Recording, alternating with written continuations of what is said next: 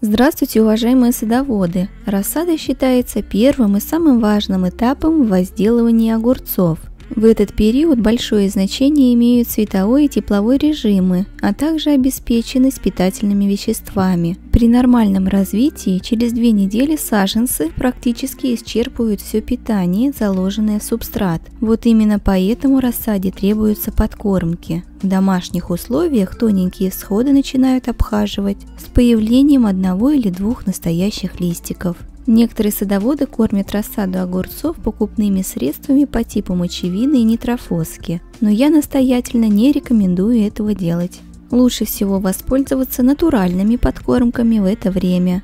Например, обыкновенные пекарские дрожжи содержат в себе много полезных микроорганизмов, которые наделены способностью разлагать органические соединения в более простые вещества, которые доступны для питания растений.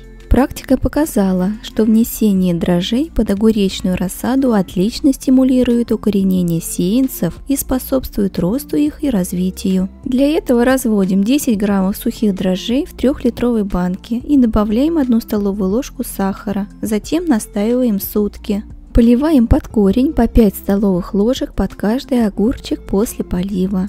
Следующая натуральная подкормка – йод, а точнее раствор йода. Его применяют в следующих случаях. Для профилактики от инфекций и применения в качестве удобрения. Применять йод для подкормок огурцов разрешается на всех фазах развития. Для подкормки разведите в одном литре воды 4 капли йода. Поливать по 3 столовые ложки под корень. Древесная зола тоже относится к натуральным подкормкам. Наверное, все знают, как огурцы любят золу. Древесная зола богата калием и фосфором. Так вот, в 3 литрах горячей воды разведите 1 стакан золы и настаивайте состав 24 часа. И напоследок луковая шелуха. Также одно из самых действенных натуральных удобрений для огурцов. Для приготовления шелуху от 5 луковиц замочите в 1 литре воды. Выдерживаем такой состав 3 дня. Подкормка осуществляется под корень после полива.